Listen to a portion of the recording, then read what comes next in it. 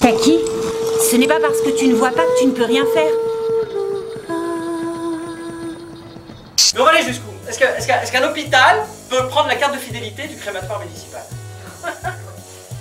Il aurait quoi comme cadeau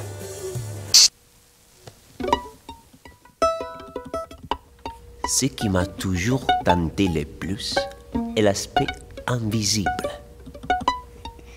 le soi-disant illogique de la forme et de l'esprit. Poser pour les soutifs de la redoute Moi je pourrais pas. hein. Non, pour les soutifs, vous ne pourriez pas.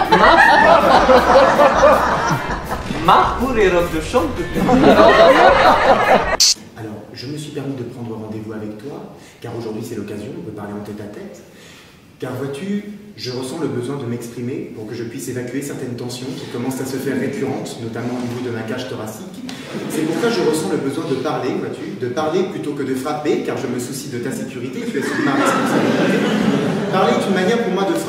D'ailleurs, je tiens d'ores et déjà à m'excuser du caractère parfois percussif que pourra prendre notre discussion, qui n'aura rien d'une discussion, d'ailleurs non seulement parce que je suis seul, mais aussi surtout parce que je n'attends aucune réponse de ta part, car ce que je vais te dire est absolument indiscutable, vu qu'il s'agit de ce que je vis, de ce que je pense, et que si j'essaie d'être un tant soit peu sincère, il n'y a aucune raison de dire que tu n'es pas d'accord. Voilà pourquoi je te propose un défi 5 minutes, fermez bien grand ta gueule. Maman, Thibaut et papa ont tous les trois une peau foncée et des cheveux bruns. On les prend souvent pour des Italiens. Moi, je suis blanc et blond. Un peu fade, quoi. Je me fais penser à une endive. Ce ne sera pas mes congés, mais mon congé. Vous êtes payé pour être sur votre lieu de travail à 8 heures précises afin de pouvoir justement commencer à travailler. On est parti en laissant 15 graines orphelines.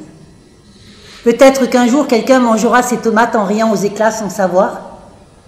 On devrait toujours se demander d'où viennent les choses et comment elles ont commencé.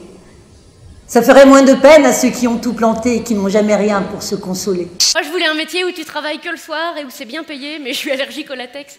Alors j'ai dit bon, l'humour, pourquoi pas. Chaque fois que je croque dans une pomme, je pense à la vie d'un homme. La pomme et l'homme sont deux choses identiques. De petits tas de chair Et ces gens-là, qui font des stages avec nous, ils apprennent à faire circuler la lumière. Ils apprennent à mettre des lieux en lumière, justement pour que l'ombre, le mal, les ténèbres, ils dégagent.